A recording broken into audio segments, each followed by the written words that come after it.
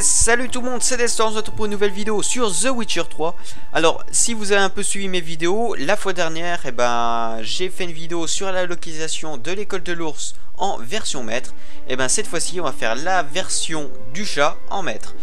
Donc pour la trouver, bah, tous les équipements seront dans la zone de Skullage donc euh, pendant bah, euh, la petite vidéo, je vais montrer la carte. Alors euh, j'essaie de bouger un peu sur la carte pour vous montrer précisément où se trouvent les équipements. Donc si vous n'arrivez pas à trouver, même avec ça, dites-le moi, j'essaierai de vous aider du mieux que je peux.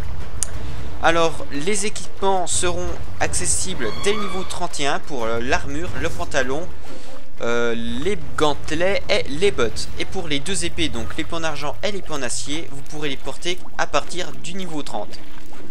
Donc comme d'habitude, au-dessus de la vidéo, euh, j'ai marqué tel équipement correspond à tel passage dans la vidéo. À la fin de la vidéo, eh ben, vous pourrez retrouver les caractéristiques des objets de l'école du chat en version maître. Et comme d'habitude, n'hésitez pas à commenter et à vous abonner. Et sur ce, bonne game sur ce.